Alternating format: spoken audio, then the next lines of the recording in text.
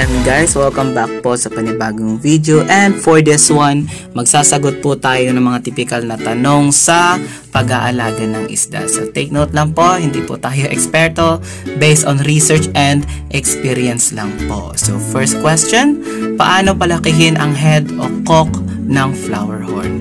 So pag po ng flower horn guys, make sure na high in protein yung consume food nila such as commercial feeds, Okiko Platinum, Humpy Head, marami pang iba. Tsaka live foods din po pwede, Chubby Flex, bloodworms, and pwede rin po yung mga beef heart, chicken heart, fresh shrimp. So, yan po yung nagpapa-improve ng mga coconut. Pero, meron din pong mga isda or mga flower horn na hindi lumalaki yung cock. It's because po, nasa genes na po nila yun.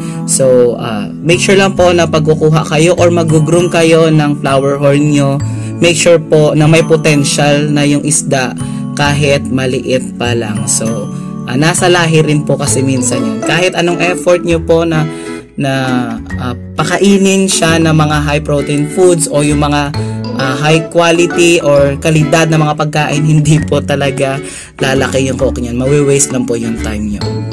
So next question, paano mapabilis ang pagdami ng gapi or paano mag-breed ng gapi? So sa pagbe-breed po ng gapi, make sure po na marami tayong lalagyan or much better malapad yung lalagyan natin. Good quality of water, magandang pagpapakain para mabilis lumaki yung fry, and yung ratio ng male to female. So remember guys, one male is to two female. So, kapag maraming male, anong mangyayari?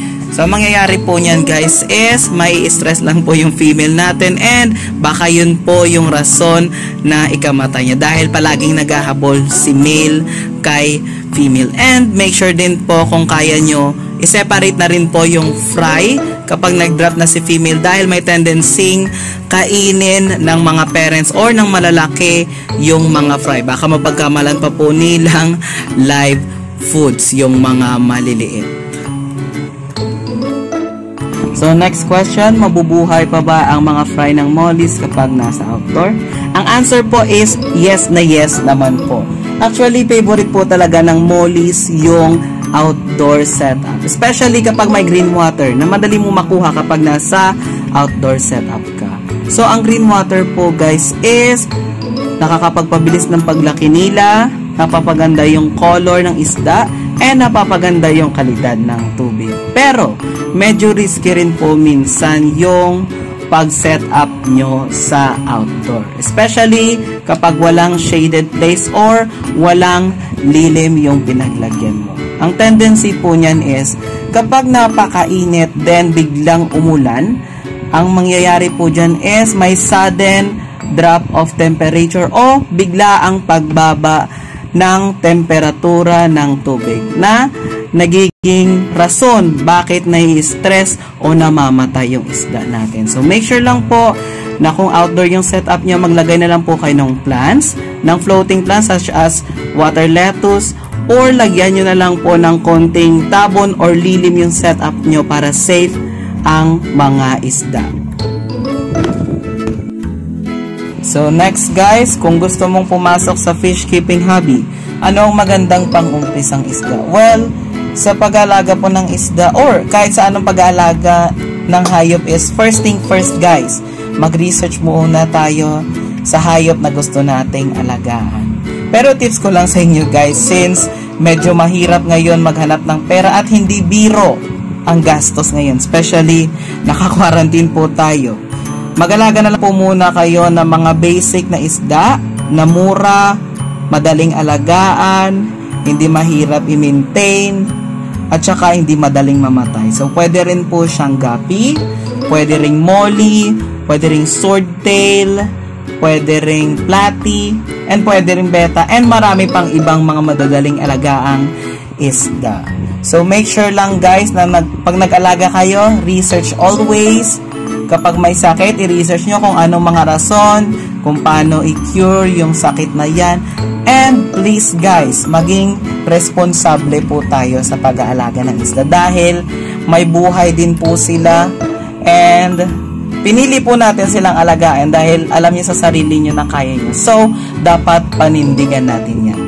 Next question, bakit may goldfish na hindi lumalaki kahit ilang buwan o taon nang naaalagaan? Well guys, generally hindi lang po sa goldfish, sa lahat din po ng klase ng isda o hayop, hindi po talaga natin maiiwasan na meron sa isang generation or batch ng isda na merong rejected or kal na tinatawag. So, uh, minsan nga po guys, kahit yung mga uh, selected high quality maliit po talaga yung porsyento. Uh, karamihan po niyan is rejected na. And main reason din po guys is inbreeding. So ang inbreeding po is kapag ang isang parent ng anak, then yung mga anak niya is nagbreed sa isa't isa hanggang sa ibang generation, nagbreed sila ng breed na walang uh, ibang genes.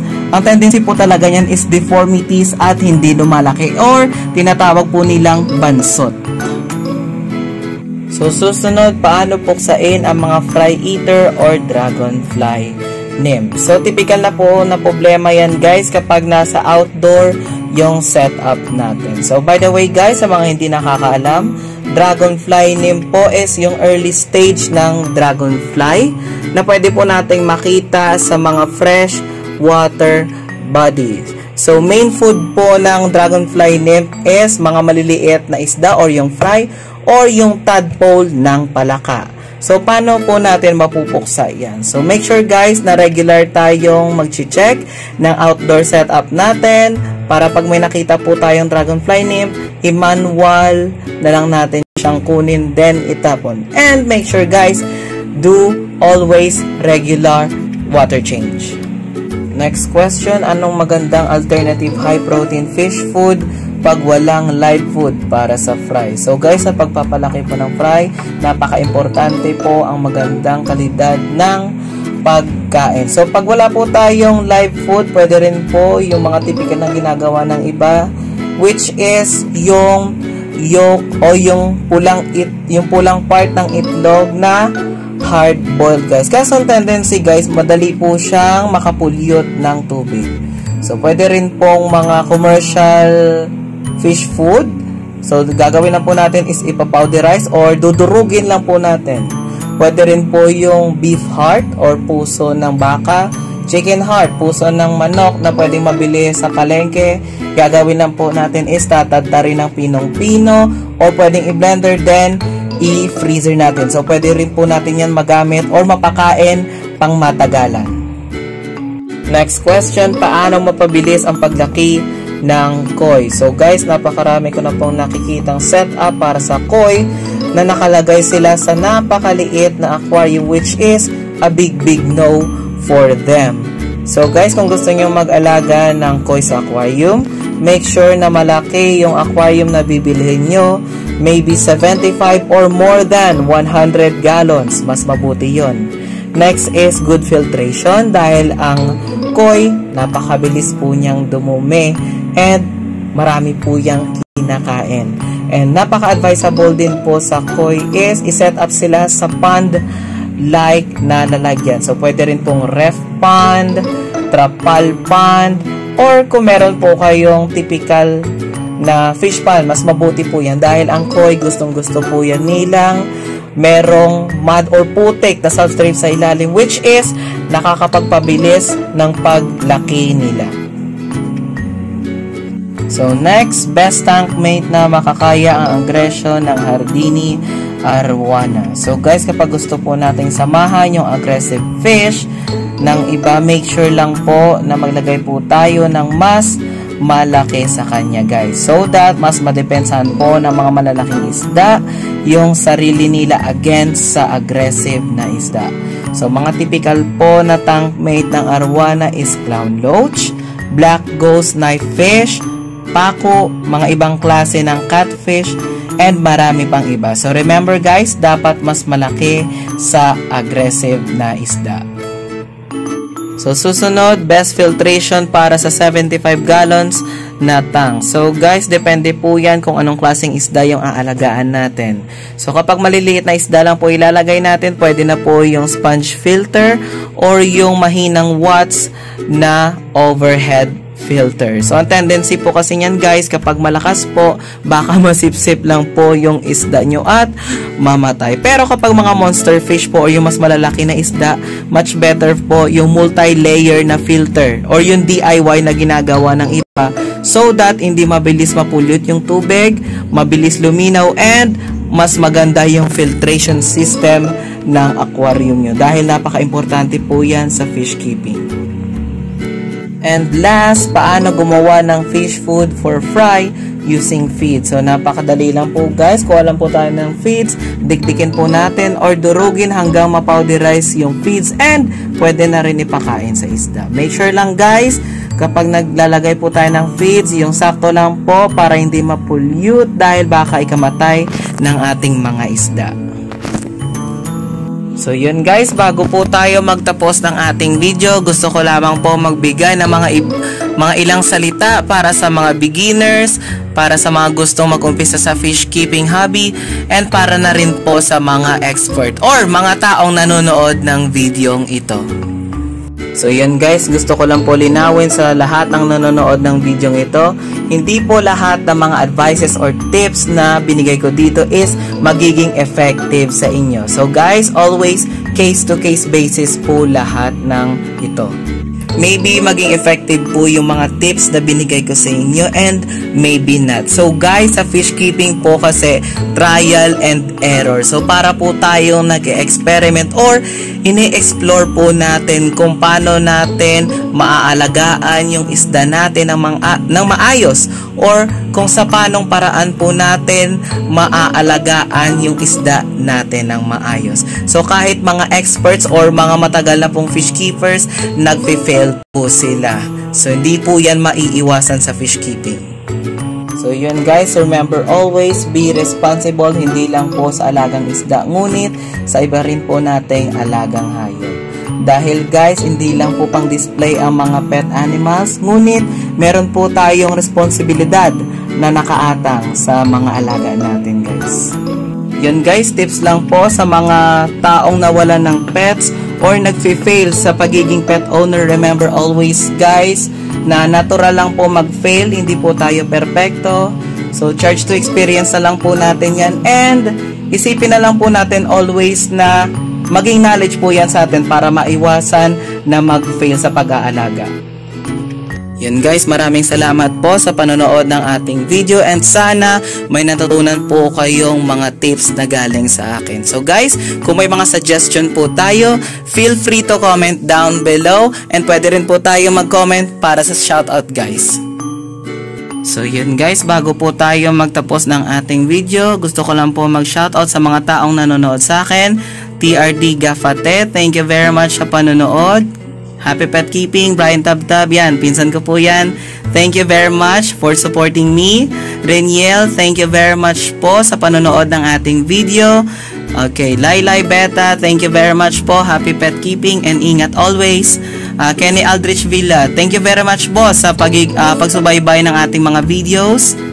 So Mars Dison Jr., thank you very much for watching boss. And subscribe din po kayo sa channel niya, Mars Dison Jr. Yan po yung YouTube channel niya. Antonio Balgos Benlira, thank you very much po sa pagiging loyal customer ko.